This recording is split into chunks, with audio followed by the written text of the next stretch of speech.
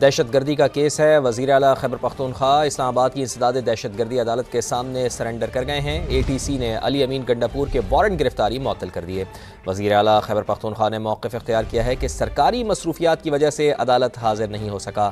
عدالت نے علی امین گنڈاپور کی وارنٹ منسوخی کی درخواست منظور کر لی ہے۔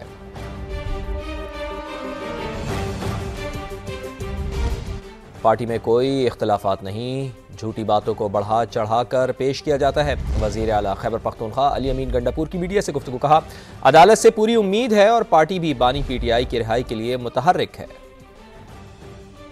اختلافات میں پارٹی والی کوئی ایسی بات ہے نہیں، وہ چھوٹی سی بات کو آپ بہت بڑا چڑھا کے بیان کرنا شروع کر دیتے ہیں۔ جن لوگوں کے بارے میں کہا گیا، انہوں نے خود ہی بیان دیا، کوئی اختلاف نہیں ہے۔ اور دوسری جو بات ہے، انشاءاللہ خان صاحب کی رہائی کے لیے انشاءاللہ پوری پارٹی متحرک ہے، انشاءاللہ ہمیں ادھے سے پوری امید ہے۔ کہ بہت جلد ان کی رہائی ہوگی اور انشاءاللہ ہماری کیمپین شروع ہے۔ ہمیں پولیٹیکل پارٹی ہے انشاءاللہ اپنا پولیٹیکل جلسے بھی, بھی ہم کر رہے ہیں۔ ہم یہ ثابت کر رہے ہیں کہ ہم آئین کے مطابق چلنے والی پارٹی ہیں۔ ہمارے ساتھ جو زیادتیاں وہ جو غیر قانونی اقدامات کیے گئے ہیں یہ ملک بھی یہی ہے یہ قانون بھی یہی ہے یہ آئین بھی یہی ہے انشاءاللہ حساب ہوگا۔ ان کے کپڑوں میں اتنے سراخ ہیں کرپشن کے غیر آئینی اقدامات کے آئین توڑنے کے انشاءاللہ ان کو سمجھ آ جانی ہے۔